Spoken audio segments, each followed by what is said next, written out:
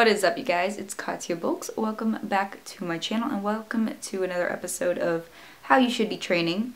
Now, of course, I'm going to preface this again by saying this is just my opinion and from what I've studied and years of practice on myself of what I very much encourage people to do when it comes to training, their styles, and stuff like that. So check out all the other videos if you want to.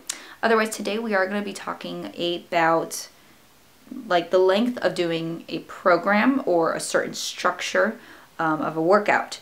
Some people, you know, go in and do a different workout every day. Some people will have it structured where it's like, say, push pull legs, but every day it's just different. Now, for me, I do like to keep a consistent record of my lifts so that I could see that I'm progressing. So, for example, I just recently filled up this notebook completely and then just started a new notebook. Um, and by doing that, like I can see, you know, depending of course on my diet and such, like last week I benched this 95 pounds for five reps. Let's see then, I can look back at that and then see this week, will I be able to hit it for six reps? It just keeps you consistent with not only the gym and yourself with your goals, but it also shows that you are progressing rather than like going in, guessing weight, and just lifting something. And it also pushes you because, say, you are adding calories or you're maintaining, the next thing you want to do is obviously push more weight. Or if you're dropping calories, you want to try to maintain your weight and so or maintain at least your strength so you're hoping that you're hitting the same reps for the same weight stuff like that um, now when it does come to switching up your schedule and your routine definitely they say about six to seven weeks. Sometimes at that sixth or seventh week, people take a deload. Really depends. They are and aren't necessary depending on the person. Um, that is a whole other thing that I believe I have talked about deloading. If I have a video on that, I will put the card up above. Um, otherwise, it's shown definitely like that when someone's body goes through a cycle, there's a spike in like the mu muscle protein synthesis, but then it drops back down because your body adapts to the workouts you're doing. Do I don't know, maybe you guys remember the commercials for, what is it, P90X?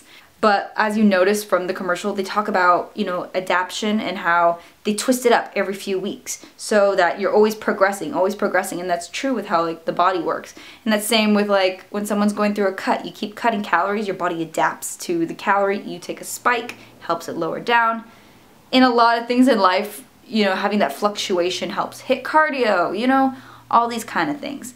But pretty much, um, they have done studies and showing how twisting up your workouts really can make an impact. So that's what I'm doing today. I'm starting a new cycle. Now, I'm not switching up the days of the muscle parts that I'm working out, but I'm switching up from the exercises to the rep schemes, if you know what I mean. So for example, before I would always do building up to a five rep max on bench.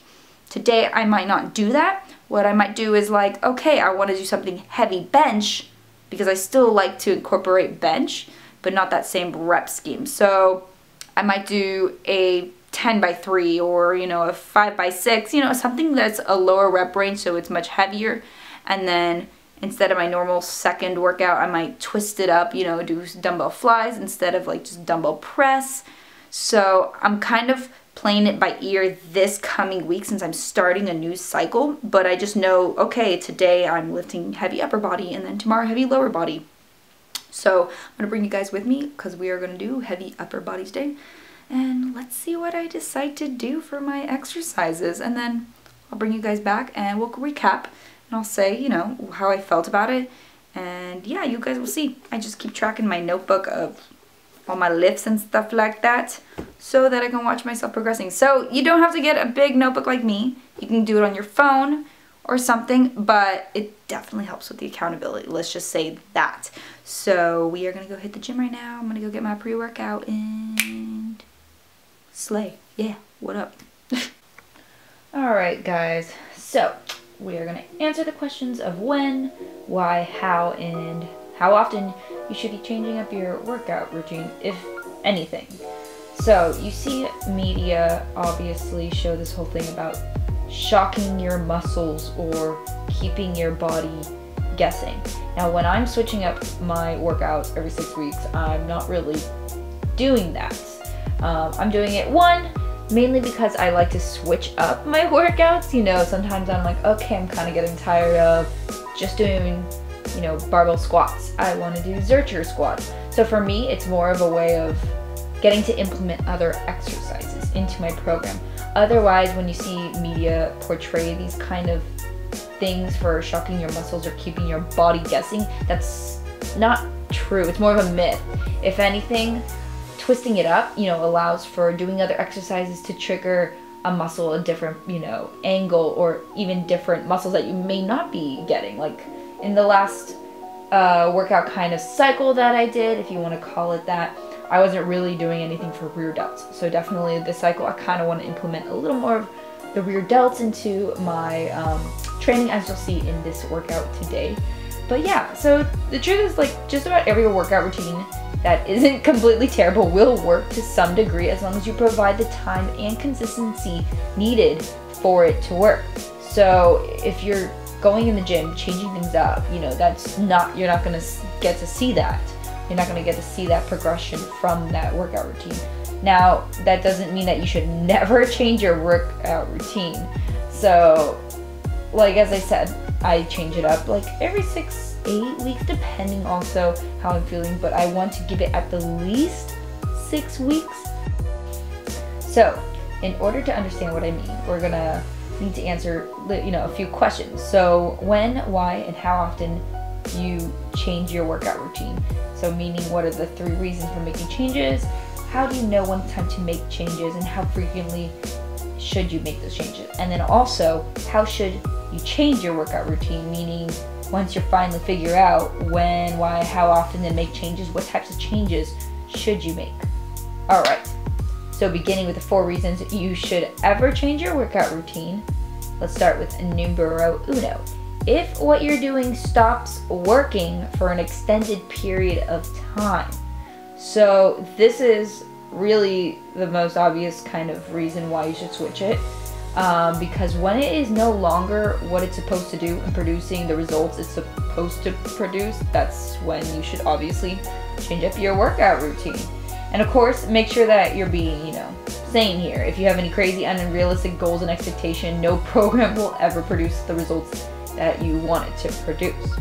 Second, if your goals change, that's when you change your workout routine. For example, if your primary goal was always strength related and now it's switched to building muscle or losing fat or anything, you know, vice versa, your program's going to reflect that. You know, someone who's doing powerlifting and then they want to enter a physique competition, they are definitely going to be switching up their workout routine and their style of training so to aim for that goal.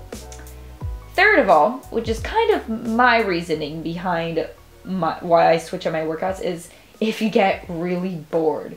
If you become so bored to death with what you're doing that it's beginning to like even hurt your motivation to go train, then definitely it's time to change something um, or bring something new in, you know, just to bring back that, you know, interest and motivation back to your workout. So again, be realistic here. You can't act like you just get bored with a workout after a week or two. You gotta definitely give it, you know, a chance and time to really give your body time to grow, I guess is the best way to say it. And number four, if something out of your control requires a change.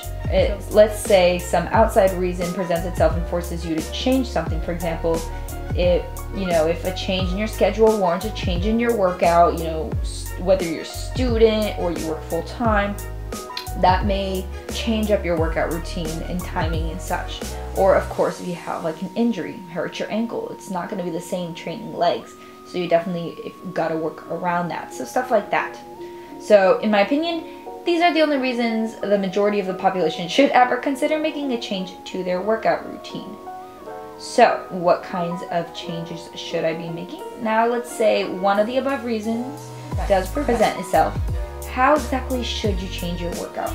As usual, the answer depends on many different factors so in most cases, you'd probably be able to keep the overall step, setup and structure of your routine exactly the same and just make smaller changes to things within the workout. For example, if you're doing incline dumbbell press, you could switch that to incline barbell press or the incline hammer strength machine press, which is like what I'm doing here. If you're doing standard barbell curls. You could switch that to seated dumbbell curls, many different things. Um, and this is what I do in my programming where as you saw from the first exercise of the bench, I just switched up the rep scheme, stuff like that. But I'm not really conforming it into like a whole different other thing because my goal is the same regarding wanting to do bikini bodybuilding. So that's why I'm not like doing anything drastically because I still have that same goal. I'm just switching it up because one, I like to do different exercises. So yeah, I don't know. What are your guys' thoughts on that? You can always comment that below. So now you ask, how often should I make these kind of changes into my workout routine? So pretty much only as often as one of the four reasons that I had presented to you guys earlier, that would be my recommendation. So I know people say things like, yeah, change your, change your workout every so and so week, six to eight weeks. But you know, that's not for everyone. You know, it's for me because I do like to mix it up once in a while. And I did notice when I first started my workout routine at the beginning of the year, I was doing it for months on end. And it made it feel like, oh, if I deviated anything from it, I would be messing up my workout routine. And so it gives me that flexibility to try new things. So don't make changes to your workout routine when you have absolutely no reason to.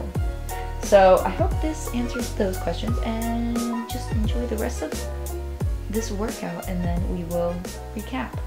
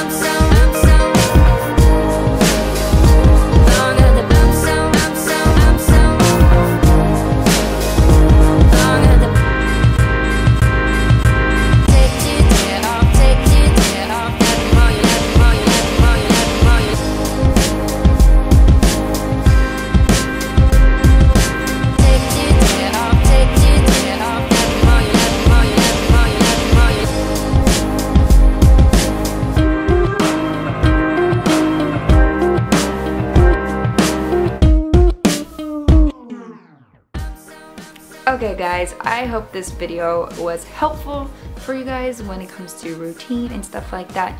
If you have any more questions, do leave them in the comments below. Otherwise, if you need even more guidance regarding a scheduling for your workout, stuff like that, please email me. My email is down below for any coaching inquiries. Otherwise, if you did enjoy this, do give it a thumbs up. I enjoyed that push, excuse me, I enjoyed that push workout and I will definitely be repeating that for six, eight, ten, I don't know how many weeks, just depending on how I'm doing, how I'm feeling, and what comes up with my body. But definitely trying, you know, being consistent with it is the most important thing. So go be consistent with your workouts and subscribe for more. The button is right down below. I love you all. You guys are awesome, so go get them gains. And I'll see you guys in the next video. Bye!